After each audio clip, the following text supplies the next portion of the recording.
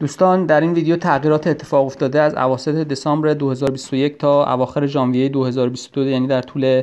حدود 6 هفته رو بررسی می‌کنیم. چارت روبرو 10 year treasury yield رو نشون میده که یکی از بهترین چارت ها برای دیدن روند تغییرات ایجاد شده در مورتگیج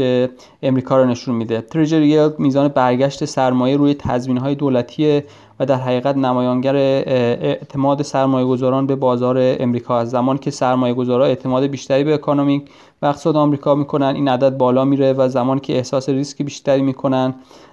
و در بحران ها این عدد پایین میاد مثل شرایط موجود در کرونا در طول سالهای 2020 و 2021 با بهبود شرایط بعد از کرونا و کم شدن درصد بیکاری در طول 7 8 هفته گذشته این عدد به سرعت بالا رفته و دولت به خاطر کنترل تورم تصمیم گرفت که نرخ سود وام مسکونی رو خیلی سریع بالا بره. بهترین بهترین پیش بینی کننده های اقتصادی می‌گفتن که این اتفاق در طول 8 یا 9 ماه اتفاق میفته ولی دیدیم که در طول 6 هفته گذشته اتفاق افتاد و یکی از دلایل بسیار مهم این بود که دولت آمریکا تونست میزان بیکاری رو خیلی بیشتر کاهش بده. یعنی اونا پیش بینی می‌کردن که یه چیزی بوده 250 هزار دلار 250 هزار شغل در ماه ژانویه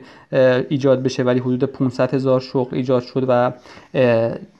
این به دولت این رو نشون داد که با افزایش شغل ها مردم پول بیشتری دستشون میاد و چون کار می‌کنن پول می‌گیرن و در نتیجه پول دستشون هست و می‌خوان خرید کنن و این هم مزید بر علت میشه برای افزایش تورم. در نتیجه خواست که این کنترل تورم رو سریعتر انجام بده. خط آبی index 10 year treasury رو نشون میده و این میزان تغییرات rate رو می‌تونید ببینید نه میزان rate رو دقیقا. این مقدار همونجور که می‌بینید الان یک ممیز 94 هست و آخرین بار این مقدار در نوامبر سال 2019 قبل از دوران کرونا بود. نرخ mortgage امروز چیزی حدود 4 تا 4.25 صدم هست که در مقایسه با دو ماه پیش توی نوامبر یا اواسط دسامبر یک درصد بالا رفته و این به معنی این هستش که قدرت خرید شما حدود 10 درصد کم شده. یعنی اگر توی نوامبر شما برای 500 هزار دلار کوالیفای می‌شدین امروز برای 450 هزار دلار کوالیفای میشین. ضمن اینکه حدود بالا ضمن اینکه پرداخت های قسط های ماهیانتون هم حدود 10 درصد بالا رفته. اگر فرض کنیم شما حدود 2000 دلار پرداخت ماهیانتون بوده الان حدود 2200 دلار خواهد شد اگر الان وام بگیرید یه بیزیر هم نشون دادم اونجا که نشون میده در سال 2020 چقدر درصدها کم بود و کمترین میزان تاریخی